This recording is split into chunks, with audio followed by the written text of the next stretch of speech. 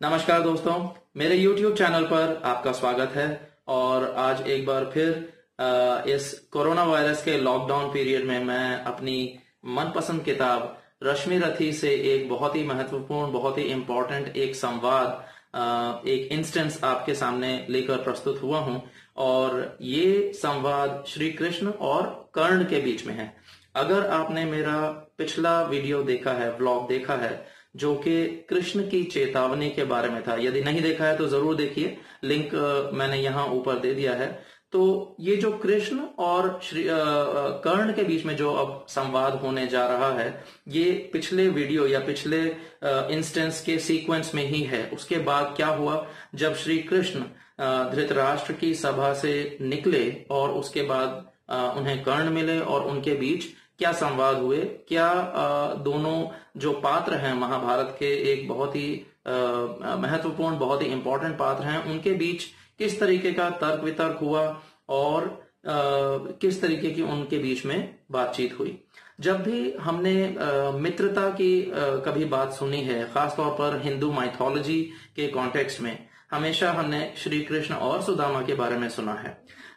शायद ही कहीं पर हमने सुना होगा या शायद उतनी ज़्यादा महत्वता कभी दी नहीं गई कि किस तरीके से कर्ण और दुर्योधन के बीच का जो एक संबंध था या उनकी फ्रेंडशिप या उनकी मित्रता किस कदर कितनी स्ट्रांग थी और महाभारत पर इस फ्रेंडशिप का, इस मित्रता का क्या इम्पैक्ट था, ये इस संवाद के ज़रिए आपके सामने मैं प्रस्तुत करूँगा और बहुत ही इंटरेस्टिंग बहुत ही मज़ेदार ये एस्पेक्ट है।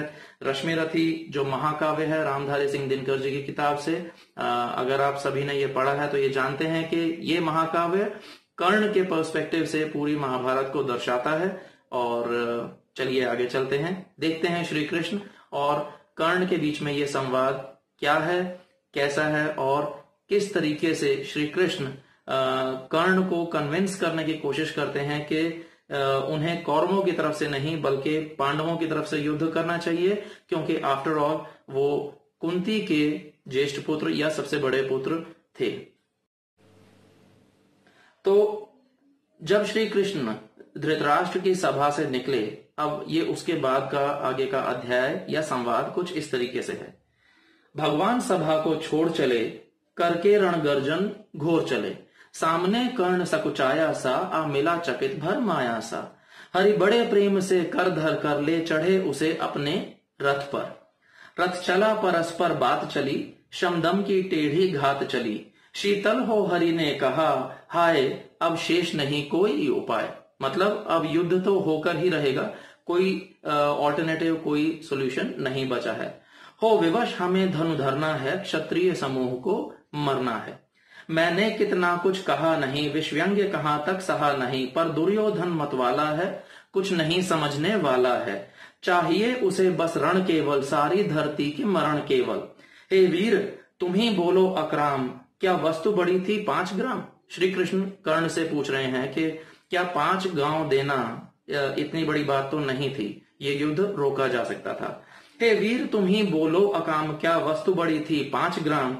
वह भी कौरव को भारी है, मत गई मूढ़ की मारी है। दुर्योधन को बोधू कैसे? इस रण को अवरोधू कैसे? कैसे इस युद्ध को रोका जाए? सोचो क्या दृष्ट विकट, दृश्य विकट होगा रण में जब काल प्रकट होगा। बाहर शोणित की तप्त धार, भीतर विधवाओं की पुकार। निर्शन विषण बिल्लाएँगे, बच्चे अनाथ चिल्लाएँगे। चिंता है मैं क्या और करूँ? शांति को छिपा किस ओट धरूं? सब राह बंद में रे जाने। हाँ एक बात यदि तू माने तो शांति नहीं जल सकती है समराग्नि अभी टल सकती है। जो सब तरफ़ आग फैल सकती है, इस महायुद्ध से वो टाली जा सकती है। पा, तुझे धन्य है दुर्योधन, तू एकमात्र उसका जीवन। तेरे बल की है आस उसे, तुझसे जय का विश्वास उसे। तू संग न उसका छोड़ेगा, वह क्यों रण से मुख मोड़ेगा? क्या अघटनीय घटना कराल तू प्रथा कुशी का प्रथम पाल? बनसूत अनादर सहता है, कौरव के दल में रहता है। शरचाप उठाए आठ प्रहर, पांडव से लड़ने को तत्पर। तो श्री कृष्ण कर्ण को ये कह रहे हैं कि तुम्हें कौरवों से युद्ध करने की क्या ज़रूरत है? और बल्कि वो जो हैं, पांडवों के शत्रु हैं, यानी कौरव पांडवों के शत्रु हैं, तुम्हें सही दल के साथ रहकर युद्ध लड़ना चाहिए। माँ का स्नेह पाया न कभी, सामने सत्य आया न कभी। किस्मत के फेरे में पड़कर पा प्रेम बसा दुश्मन के घर। निज बंधु मानता है, पर को कहता है शत्रु सहोदर को। पर कौन दोष इसमें तेरा? अब कहा मान मेरा, अब कहा मान इतना मेरा। चल होकर संग अभी मेरे है, जहाँ पाँच भ्राता तेरे। बिछुड़े भाई मिल जाएँगे, हम मिलकर मोद मनाएँगे। कुंती का तू ही तनय ज्येष्ठ। मतलब कुंती के तुम सबसे बड़े पुत्र हो। कुंती का तू ही तने ज्येष्ठ बल बुद्धिशील में परम श्रेष्ठ मस्तक पर मुकुट धरेंगे हम, तेरा अभिषेक करेंगे हम। आरती समोद उतारेंगे, सब मिलकर पाँव पखारेंगे। पदत्राण भीम पहनाएगा, धर्मादिक चवन ढुलाएगा। पहरे पर पहरे पर पार्थ प्रवर होंगे, सहदेव नकुल अनुचर होंगे। भोजन उत्तरा बनाएगी, पांचाली पान खिलाएगी। आहा, क्या दृश्य सुभग होगा? आनंद चमत्कृत जग होगा। सब लोग तुझे पहचानेंगे, असली स्वरूप में जानेंगे। कोई मणि को जब पाएगी, कुंती फूली न समाएगी। रण अनायास रुक जाएगा, कुरुराज स्वयं झुक जाएगा। संसार बड़े सुख में होगा, कोई न कहीं दुख में होगा। सब गीत खुशी के गाएँगे, तेरा सौभाग्य मनाएँगे। कुरुराज समर्पण करता हूँ, साम्राज्य समर्पण करता हूँ। यश मुकुट मान सिंहासन ले, बस एक भीख मुझको दे दे। कौरव को तजरण रोक सके, भूखा भर हावी शोक सके। सुन सुनकर कर्ण अधीर हुआ, क्षण एक तनिक गंभीर हुआ। फिर कहा, बड़ी यह माया है, जो कुछ आपने बताया है। अब जो कर्ण था, वो श्री कृष्ण की ये सब बातें सुनकर और परेशान हो गया। और अब वो अपना पर्सपेक्टिव अपना जो उसके विचार हैं, वो रखने जा रहा है। वो ये कह रहा है कि बड़ी, फिर कहा, बड़ी यह माया है जो कुछ आपने बताया है। दिन मणि से सुनकर वही कथा मैं भोग चुका हूँ ग्लानि व्यथा जब जब ध्यान जन्म का धरता हूँ, उन मन ये सोचा करता हूँ, कैसी होगी वो माँ कराल, निजतन से जो शिशु को निकाल। धाराओं में धर आती है, अथवा जीवित दफनाती है। तो अगर आपने महाभारत पढ़ी है तो आप ये जानते हैं कि कुंती ने कर्ण के पैदा होने पर उनको छोड़ दिया था और एक तरीके से क्योंकि वो उस वक्त अविवाहित थी और उनको सूर्य से वरदान मिला था, इस वजह से वो कर्ण को अपना नहीं सकी थी। और ये कर्ण के जीवन का बहुत बड़ा दुख रहा। सेवती मास दस तक जिसको, पालती उदर में रख जिसको, जीवन का अंश खिलाती है, अंतर का रुधिर पिलाती है। आती फिर उसको फेंक कहीं, नागिन होगी वह नारी कहीं, वह नारी नहीं। तो इसका मतलब यह है कि जो कर्ण है, वो कुंती से कितने ज़्यादा रुष्ट हैं, नाराज़ हैं और उनके अपने कारण हैं उनसे नाराज़गी के। हे कृष्ण, आप चुप ही रहिए, इस पर न अधिक कुछ भी कहिए। सुनना ना चाहते तनिक श्रवण, जिस माँ ने मेरा किया जनन। वह नहीं नारी कुल पाली थी, सर्पिणी परम विकराली थी। पत्थर समान उसका ही था सुत से समाज बढ़कर प्रिय था। गोदी में आग लगा करके मेरा कुल वंश छिपा करके। दुश्मन का उसने काम किया, माताओं को बदनाम किया। माँ का पै भी ना पिया मैंने, उल्टे अभिशाप लिया मैंने। वह तो यशस्विनी बनी रही, सबकी भौ मुझ पर तनी रही। क्योंकि कर्ण से सभी पूछते थे कि तुम्हारा खानदान या तुम्हारा तुम किस साम्राज्य के हो? तुम्हारे माता पिता कौन हैं? और कर्ण के पास इनके कोई जवाब नहीं थे, क्योंकि फिर वो सूत पुत्र थे और उनकी माता का नाम राधा था और उनको राधे कहा जाता था। पर कुल मिला के वो किसी आ, किसी राज्य के राजकुमार या राजा नहीं थे। तो इसीलिए वो कह रहे हैं कि माँ का पै भी ना पिया मैंने उल्टे अभिशाप लिया मैंने वह तो यशस्विनी बनी रही सबकी भौ मुझ पर तनी रही कन्या वह रही अपरिणीता जो कुछ बीता मुझ पर बीता जो कुछ भी बीता वो कर्ण पर बीता। मैं जाति गोत्र से हीन दीन राजाओं के सम्मुख मलिन जब रोज अनादर पाता था, कह शूद्र पुकारा जाता था। पत्थर की छाती फटी नहीं, कुंती तब भी तो कटी नहीं। मैं सूत वंश में पलता था, अपमान अनल में जलता था। सब देख रही थी दृश्य प्रथा माँ की ममता पर हुई वृथा। छिपकर भी तो सुधी ले न सकी, छाया आंचल की दे न सकी। यानी कि कुंती जो थी वो छिपकर भी आकर उन्होंने कभी कोशिश नहीं की, चेष्टा नहीं की कि कर्ण से मिला जाए या उनको ढूंढा जाए। अब आगे कर्ण क्या कहते हैं वो सुनिए। पा पाँच तनय फूली फूली, क्योंकि कुंती के पाँच पुत्र थे। पापांच तनय फूली फूली दिन रात बड़े सुख में भूली, कुंती गौरव में चूर रही, मुझ पतित पुत्र से दूर रही। क्या हुआ कि अब अकुलाती है, किस कारण मुझे बुलाती है? क्या पाँच पुत्र हो जाने पर सुत के धन धाम गवाने पर या महानाश के छाने पर अथवा मन के घबराने पर नारियाँ सदैव हो जाती हैं, बिछड़ों को गले लगाती हैं? कुंती जिस भय से भरी रही, तज मुझे दूर हट खड़ी रही। वह पाप अभी भी है मुझमें, वह शाप अभी भी है मुझमें। अब क्या ऐसा कारण हो गया अचानक कि इतने सालों के बाद आज मेरी सुध आई है और अब इस युद्ध से पहले सभी लोग मुझे अपनाना चाहते हैं? क्या हुआ कि वह डर जाएगा, कुंती को काट ना खाएगा? यानी कि अब समाज का भय नहीं रहेगा क्या? जो उस वक्त कर्ण को छोड़ा था, लेकिन अब वापस अपनाने की तैयारी में है। सहसा क्या हाल विचित्र हुआ? मैं कैसे पुण्य चरित्र हुआ? कुंती का क्या चाहता हृदय? मेरा सुख या पांडव की जय? अब अचानक ऐसा क्या हो गया कि युद्ध से पहले जो है, मुझे अपनाने की बात हो रही है। कहीं ऐसा तो नहीं कि पांडवों के हारने का डर ये इस बात को सामने प्रकट कर रहा है। ये अभिनंदन नूतन क्या है? केशव ये परिवर्तन क्या है? अब अचानक से ऐसा क्या बदल गया कि आ, मुझे इस तरीके से बुलाया जा रहा है। मैं हुआ धनुर्धर जब नामी सब लोग हुए हित के कामी पर ऐसा भी था एक समय जब यह समाज निष्ठुर निर्दय।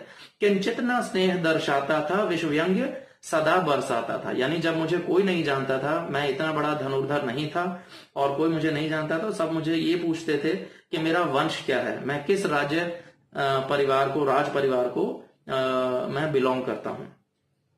उस समय सुअंक लगा करके, आंचल के तले छिपा करके, चुंबन के कौन मुझे भरकर ताड़ना ताप लेती थी डर? राधा को छोड़ भजू किसको? जननी है वही, तजू जिसको? तजू किसको? मतलब मेरे लिए मेरी माँ सिर्फ़ राधा है, जिसके नाम से कर्ण को राधे के नाम से जाना जाता था। तो कर्ण कह रहे हैं कि राधा को छोड़ भजू किसको? मेरे लिए राधा से ऊपर कोई नहीं है, उनकी माता से ऊपर। जननी है वही, तजू किसको? ऐसे में मैं उन्हें कैसे छोड़ सकता हूँ? हे कृष्ण, जरा यह भी सुनिए। अब सुनिए, ये जो बात मैंने वीडियो के स्टार्टिंग में बोली कि जो दुर्योधन और कर्ण की जो मित्रता थी, वो किस लेवल पर थी और कितनी घनिष्ठ उनके बीच की आपस की मित्रता थी, वो सुनिए। हे कृष्ण, जरा यह भी सुनिए सच है कि झूठ मन में गुनिए, धूलों में था मैं पड़ा हुआ। किसका स्नेह बापा बड़ा हुआ? किसने मुझको सम्मान दिया? नृपता दे महिमा वान किया। अपना विकास अवरुद्ध देख, सारे समाज को क्रुद्ध देख। भीतर जब टूट चुका था मन, आ गया अचानक दुर्योधन। सिर्फ़ दुर्योधन ही था जिसने मुझे गले लगाया और मुझे समाज में सम्मान दिया। निश्चल पवित्र अनुराग लिए, मेरा समस्त सौभाग्य लिए। कुंती ने केवल जन्म दिया, राधा ने माँ का कर्म किया, पर कहते जिसे असल जीवन देने आया वह दुर्योधन। वह नहीं भिन्न माता से है, बढ़कर सोदर भ्राता से है। मेरे लिए वो मेरे भाइयों से भी बढ़कर है दुर्योधन। राजा रंक से बना करके, यशमान मुकुट पहना करके, बाहों पर मुझे उठा करके, सामने जगत के ला करके, कर्तव्य क्या क्या ना किया उसने, मुझको नव जन्म दिया उसने। मेरी जो आ, मेरा जो आज समाज में स्थान है उसके लिए सिर्फ़ और सिर्फ़ दुर्योधन जिम्मेदार है और उसने मेरा ये उत्थान किया और मुझे समाज में एक रिस्पेक्ट दिलाई आदर दिलाया। है रीडिंग कर्ण का रोम रोम जानते सत्य यह सूर्य सोम। तन मन धन दुर्योधन का है यह जीवन दुर्योधन का है। सुरपुर से भी मुख मोड़ूँगा केशव मैं उसे ना छोड़ूँगा। सो कर्ण जो हैं, वो अपनी जगह कितने अटल हैं और अपनी दोस्ती को लेकर, दुर्योधन के प्रति अपनी जो आदर है, जो उनकी मित्रता है, उसको लेकर उन्होंने साफ़ किया कि सुरपुर से भी मुख मोड़ूँगा, केशव मैं उसे न छोड़ूँगा। सच है मेरी है आस उसे, मुझ पर अटूट विश्वास उसे। हाँ सच है मेरे ही बल पर ठाना है उसने महासमर। मेरे ही बल पर उसने ये महायुद्ध, महाभारत का जो युद्ध है, ये उसने मेरे ही भरोसे आगे स्टार्ट किया है या पीछे हटने का कोई स्कोप नहीं है। पर मैं कैसा पापी होऊँगा, दुर्योधन को धोखा दूँगा। मैं ऐसा नहीं कर सकता। रह सदा, रह साथ सदा खेला खाया सौभाग्य सुयश उससे पाया। अब जब विपत्ति आने को है घनघोर प्रलय छाने को है, तज उसे भाग यदि जाऊँगा, कायर कृतज्ञ कहलाऊँगा। अब ऐसे समय में मैं दुर्योधन को छोड़कर नहीं जा सकता, और ये तो बिल्कुल ही पॉसिबल नहीं है। मैं भी कुंती का एक तनय किसको होगा इसका प्रत्यय। संसार मुझे धिक्कारेगा, मन में वह यही विचारेगा। फिर गया तुरंत जब राज मिला, यह कर्ण बड़ा पापी निकला। और फिर कर्ण बोलते हैं कि आफ्टर ऑल मैं कुंती का पुत्र हूँ, वो ठीक है, लेकिन ये कहाँ तक ठीक होगा कि कुंती का जो पुत्र है, वो जब सब राजपाट मिल गया, समाज में इज़्ज़त मिल गई, और अब मैं अपनी मित्रता और अपनी जो मेरी वचनबद्धता या कमिटमेंट है दुर्योधन के प्रति, मैं उन्हें छोड़कर मैं आऊँ तो इसमें भी कुंती का नाम खराब होगा, बदनाम होगा। मैं ही ना सहूँगा विषम डंक, अर्जुन को भी होगा कलंक। सब लोग कहेंगे, डर कर ही अर्जुन ने अद्भुत नीति गही। तो ना सिर्फ़ कुंती की बदनामी होगी, पांडु परिवार की बदनामी होगी, कर्ण की बदनामी होगी, बल्कि अर्जुन की भी बदनामी होगी। लोग कहेंगे कि शायद अर्जुन ने डर कर कुछ ऐसी साठ गांठ रची कि कर्ण को अपनी तरफ़ मिला लिया। चल चाल कर्ण को फोड़ लिया, संबंध अनोखा जोड़ लिया। कोई न कहीं भी चूकेगा, सारा जग मुझ पर थूकेगा। तब त्यागशील जब योगदान, मेरे होंगे मिट्टी समान। लोभी लालची कहाऊँगा किसको क्या मुँह दिखलाऊँगा? मैं मैं कहा जाऊँगा? क्योंकि सब लोग यही सोचेंगे कि मुझसे बड़ा स्वार्थी कोई नहीं है। जो आज आप कह रहे आर्य कुंती के मुख से कृपाचार्य, सुन वही हुए लज्जित होते। हम क्यों रण को सज्जित होते? मिलता ना कर्ण दुर्योधन को, पांडव ना कभी जाते वन को। यानी कि अगर कर्ण की इस तरीके से इंसर्ट या इस तरीके से ना होती तो ये बात आगे ना बढ़ती और महायुद्ध की ना ठनती। लेकिन नौका तट छोड़ चली, कुछ पता नहीं किस ओर चली। यह बीच नदी की धारा है, सूझता ना कूल किनारा है। ले भील, भले यह धार मुझे, लौटना नहीं स्वीकार मुझे। अब हम इतनी आगे जा चुके हैं, यानी पांडव और कौरव, के अब युद्ध तो होगा ही होगा और अब पीछे आने की कोई भी विकल्प, कोई ऑल्टरनेटिव नहीं रह गया है। तो अब रिज़ल्ट जो भी हो, आगे देखा जाएगा। धर्माधिराज का ज्येष्ठ बनू यानी युधिष्ठिर से भी मैं बड़ा हूँ। धर्माधिराज का ज्येष्ठ बनू भारत में सबसे श्रेष्ठ बनू कुल की पोशाक पहन करके सर उठा चलू कुछ तन करके। इस झूठ मूठ में रस क्या है, केशव? यह सुयश सुयश क्या है? तो कर्ण ये बताना चाह रहे हैं कि मेरे लिए अब इन चीज़ों के कोई मोल नहीं है, कोई मायने नहीं है, क्योंकि मेरे लिए जो कुछ भी है वो मेरा जीवन तक दुर्योधन के लिए है। तो अब ये सब चीज़ों का मुझे कोई लोभ नहीं है। सिर पर कुलीनता का टीका, भीतर जीवन का रस फीका अपना नाम जो ले सकते, परिचय न तेज से दे सकते, ऐसे भी कुछ नर होते हैं, कुल को खाते और खोते हैं। विक्रमी पुरुष लेकिन सर पर चलता न छत्र पुरखों का धर अपना बल तेज जगाता है, सम्मान जगत से पाता है। सब उसे देख ललचाते हैं, कर विविध यत्न अपनाते हैं। कुल गोत्र नहीं साधन मेरा। पुरुषार्थ पुरुषार्थ एक बस धन मेरा। कुल ने तो मुझको फेंक दिया, मैंने हिम्मत से काम लिया। अब वंश चकित भरमाया है, खुद मुझे खोजने आया है। तो यानी कि मैंने अपनी मेहनत से, अपनी लगन से जो अपना एक अस्तित्व मैंने स्थापित किया समाज में। आज मैं जो हूँ, अपने बल से हूँ। उसमें किसी जो जो राज्य परिवार है या किसी भी तरीके की बैकग्राउंड उसका कोई योगदान नहीं है।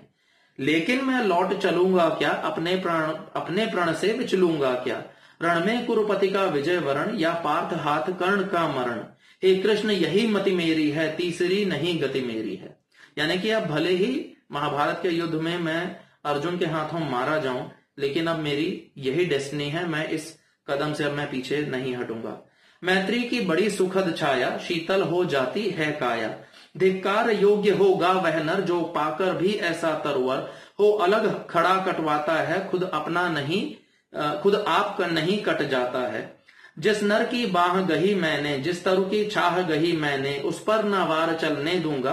कैसे कुठार चलने दूँगा? यानी कि दुर्योधन को मैं हर हाल में सुरक्षित रखूँगा और अपनी आखिरी सांस तक मैं दुर्योधन के साथ रहूँगा। जिस नर की बाह गही मैंने, जिस तरु की छाह गही मैंने, उस पर नवार चलने दूँगा। कैसे कुठार चलने दूँगा? जीते जी उसे बचाऊँगा या आप स्वयं कट जाऊँगा? मित्रता बड़ा अनमोल रतन, कब इसे को कब इसे तोल सकता है धन? धरती की तो है क्या बिसात? आ जाए अगर वैकुंठ हाथ। उसको भी न्योछा वर कर दूँ, कुरुपति के चरणों में धर दूँ। सिर लिए स्कंद पर चलता हूँ, उस दिन के लिए मचलता हूँ। यदि चले वज्र दुर्योधन पर, ले लू बढ़कर अपने ऊपर। कटवा दूँ उसके लिए गला, चाहिए मुझे क्या और भला? सम्राट बनेंगे धर्मराज, या पाएगा कुरु राजताज लड़ना भर मेरा काम रहा, दुर्योधन का संग्राम रहा। मुझको न कहीं कुछ पाना है, केवल ऋण मात्र चुकाना है। अब कर्ण जो है वो यही कह रहे हैं बार बार इसी बात पर ज़ोर दे रहे हैं कि जो दुर्योधन ने मेरे लिए किया, वो शायद ही इस पूरे जीवन में कोई उनके लिए कर पाता और कहीं ना कहीं उनके मन में था कि ये ऋण उन्हें चुकाना है। कुरु राज्य चाहता मैं कब हूँ, साम्राज्य चाहता मैं कब हूँ, क्या नहीं आपने भी जाना, मुझको ना आज तक पहचाना?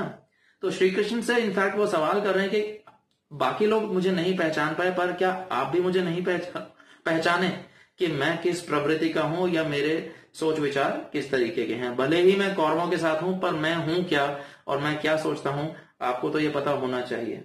जीवन का मूल समझता हूँ, धन को मैं धूल समझता हूँ। धन राशि जोगना लक्ष्य नहीं, साम्राज्य भोगना लक्ष्य नहीं। भुजबल से कर संसार विजय, अगणित समृद्धियों का संचय। दे दिया मित्र दुर्योधन को, तृष्णा छू भी न सकी मन को। वैभव विलास की चाह नहीं अपनी कोई परवाह नहीं। बस यही चाहता हूँ केवल दान की देव सरिता निर्मल। करतल से झरती रहे सदा निर्धन को भरती रहे सदा। अब यहाँ पर कर्ण जो जिस तरीके से उनको आ, सभी लोग जानते हैं कि वे दानवीर कर्ण हैं करेक्ट तो यहाँ पर वो वही कह रहे हैं कि मेरे पास कुछ हो या ना हो लेकिन मैं यही चाहूँगा कि हर व्यक्ति जो जरूरतमंद है उसके पास वो सब होना चाहिए जिसकी उसके जीवन में ज़रूरत है। तुच्छ है राज्य क्या है केशव? पाता क्या नर कर प्राप्त विभव? चिंता प्रभुत अत्यल्प हास, कुछ चाक चिक्य, कुछ कुछ क्षण विलास। पर वह भी यही गवाना है, कुछ साथ नहीं ले जाना है। मुझसे मनुष्य जो होते हैं, कंचन का भार न ढोते हैं। पाते हैं धन बिखराने को, लाते हैं रतन लुटाने को। जग से न कभी कुछ लेते हैं, दान ही हृदय का देते हैं। प्रासादों के कनकाभ शिखर होते कबूतरों के ही घर। महलों में गरुड़ न होता है कंचन पर कभी न सोता है। मतलब कर्ण कह रहे हैं कि मैं मैं महलों के लिए नहीं बना हूँ, मैं उस गरुड़ की तरह हूँ जो ऊँचे आकाश में उड़ता है। तो ये वो, यहीं पर कह रहे हैं कि प्रासादों के कनकाभ शिखर होते कबूतरों के ही घर, महलों में गरुड़ ना होता है, कंचन पर कभी न सोता है। बसता वह कहीं पहाड़ों में, शैलों की फटी दरारों में। होकर समृद्धि सुख के अधीन मानव होता नित तप क्षीण। सत्ता किरीड़ में आसन करते मनुष्य का तेज हरण। नर विभव हेतु ललचाता है, पर वही मनुज को खाता है। चांदनी पुष्प छाया में पल नर भले बने, सुमधुर कोमल पर अमृत क्लेश का पिए बिना, आतप अंधड़ में जिए बिना। वह पुरुष नहीं कहला सकता, विघ्नों को नहीं हिला सकता। उड़ते जो झंझावातों में, पीते जो वारी प्रपातों में, सारा आकाश अयन जिसका विषधर भुजंग भोजन उसका। वे ही फड़िबंद छुड़ाते हैं, धरती का हृदय जुड़ाते हैं। मैं गरुड़ कृष्ण, में पक्षीराज सिर पर न चाहिए मुझे ताज। दुर्योधन पर है विपद घोर, सकता न किसी विधि उसे छोड़। यानी कि किसी भी सिचुएशन में, किसी भी परिस्थिति में मैं दुर्योधन को बिल्कुल नहीं छोड़ूँगा। तो बार बार इस बात को स्ट्रेस दे रहे हैं। रणखेत पाटना है मुझको, अहिपाश काटना है मुझको। संग्राम सिंधु लहराता है, सामने प्रलय गहराता है। रह रह कर बुझा फड़कती है, बिजली सी नसें कड़कती हैं। चाहता तुरंत मैं कूद पड़ू, जीतू कि समर में डूब मरूं। अब देर नहीं कीजिए केशव, अब शेर नहीं कीजिए केशव। धन की, धनु की डोरी तन जाने दे, संग्राम संग्राम तुरंत ठन जाने दे। तांडवी तेज लहराएगा, संसार ज्योति कुछ पाएगा। यानी कि अब युद्ध होने को ही है। और अब आप कोई किसी भी तरीके की कोशिश ना कीजिए, कोई चेष्टा ना कीजिए कि ये युद्ध रुक जाए। अब जो होना है देखा जाएगा, होने दीजिए। पर एक विनय है मधुसूदन। अब वो क्या रिक्वेस्ट कर रहे हैं सुनिए।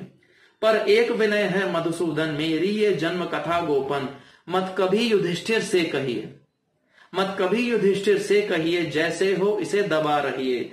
वे इसे जान यदि पाएँगे, सिंहासन को ठुकराएँगे, क्योंकि युधिष्ठिर धर्मराज हैं। जैसे ही उन्हें पता चलेगा कि उनसे बड़े, उनसे ज्येष्ठ भाई जो हैं वो कर्ण हैं, वो सब कुछ छोड़ देंगे।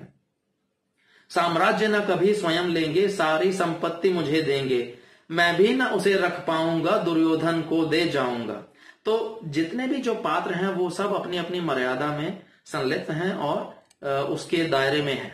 तो ये कर्ण का एक बहुत ही सुंदर यहाँ पर प्रदर्शित किया गया है, बहुत ही अच्छा लिखा है। साम्राज्य न कभी स्वयं लेंगे, सारी संपत्ति मुझे देंगे, और मैं भी ना उसे रख पाऊँगा, दुर्योधन को दे जाऊँगा। पांडव वंचित रह जाएँगे, दुख से न छूटवे पाएँगे। तो कोई फ़ायदा नहीं होगा।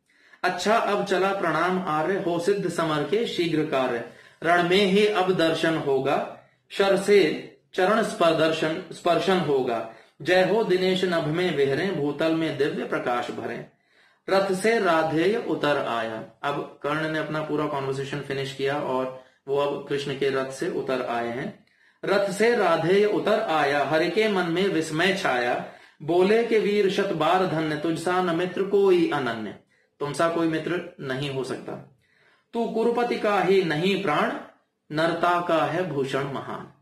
तो श्री कृष्ण ने भी कर्ण को नमस्कार किया और बोला कि तुमसे ज़्यादा महान कोई नहीं हो सकता। और मित्रता का इतना इतना उन्मुक्त और इतना अद्भुत उदाहरण और नहीं हो सकता। और मुझे उम्मीद है कि ये अध्याय या ये संवाद आपको इस वीडियो के ज़रिए पसंद आया होगा। और उम्मीद करता हूँ कि जिस तरह आपने जो रश्मि रथी का, कृष्ण की चेतावनी जो संवाद का जो वीडियो था, वो जिस तरीके से आपने उस पर प्यार दिखाया अपने मित्रों और परिवार और रिश्तेदारों के साथ शेयर कीजिए, किया। उम्मीद करता हूँ कि ये वीडियो भी आप शेयर करेंगे और उम्मीद है कि ये वीडियो आपको अच्छा लगा। मिलते हैं अगले वीडियो में। धन्यवाद।